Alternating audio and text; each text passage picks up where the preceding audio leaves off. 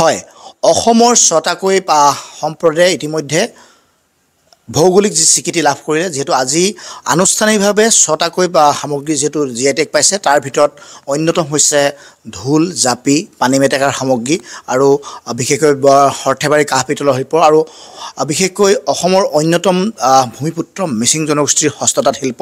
আৰু এই মুহূৰ্তত আমি এখন ধেমাজি সদৰৰ বা মিচিং হস্ততাঁত বস্ত্ৰশিল্পৰ লগত জড়িত এগৰাকী উদ্যমী মহিলা তথা অসমীয়া বস্ত্ৰ সম্ভাৰক বিশেষভাৱে আগুৱাই নিয়াৰ পদক্ষেপ লোৱা এগৰাকী স্বাৱলম্বী মহিলা অনামিকা ট্ৰেডিশ্যনেল ষ্ট'ৰত উপস্থিত আছোঁ।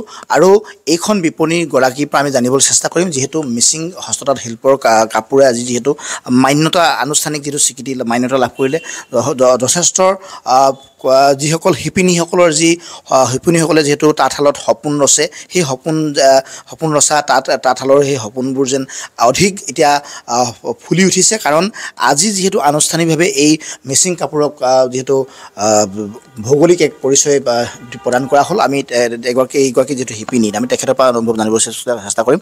বাইদেউ আজি যিহেতু মিচিং হস্ততাঁত শিল্পৰ আনুষ্ঠানিক এটা ভৌগোলিক পৰিচয় লাভ কৰিছে অন্যান্য সামগ্ৰীকেইটা লাভ কৰিছে আপুনি কেতিয়াৰ পৰা এই ব্যৱসায়ৰ লগত জড়িত আৰু এগৰাকী শিপিনী হিচাপে কি অনুভৱ কৰিছে? হয় খবৰটো পাই খুবেই মানে ভাল লাগিছে। বিশেষকৈ আমাৰ মিচিং শিপিনীসকলে বহুত আগৰ পৰাই মানে ইমান কষ্ট কৰি ফুলবোৰ বনায় খুব সুন্দৰকৈ কাপোৰবোৰ বয়।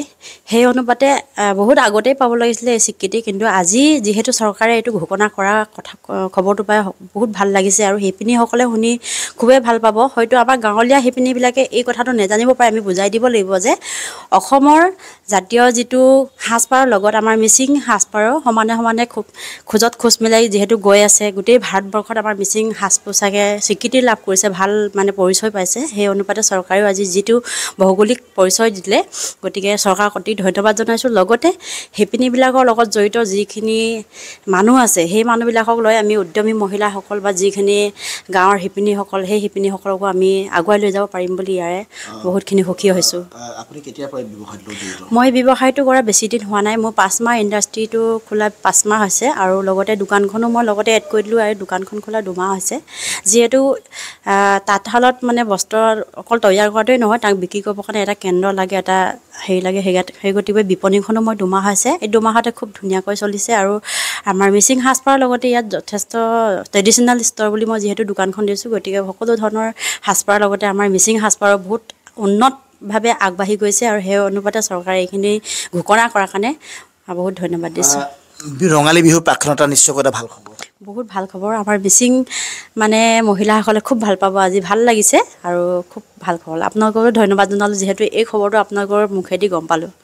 নিশ্চিতভাৱে এয়া আচলতে এগৰাকী শিপিনীৰ মনৰ কথা। তেওঁ ইতিমধ্যে যিহেতু পূৰ্বৰ পৰাই তেওঁ যিহেতু মিচিং কাপোৰৰ লগত যদিও জড়িত কিন্তু আনুষ্ঠানিকভাৱে তেওঁ ব্যৱসায় কোনো ধৰণৰ বিপণী খোলা নাছিল। কিন্তু এতিয়াৰ পৰা তেওঁ যোৱা কেইটামাহৰ পূৰ্বে এখন বিপণী খুলি লৈছে। আৰু নিশ্চিতভাৱে এনেধৰণৰ বিশেষকৈ ৰঙীন বস্ত্ৰ সম্ভাৰ বুলি ক'লেই মিচিং কাপোৰযোৰালৈ মনত পৰে।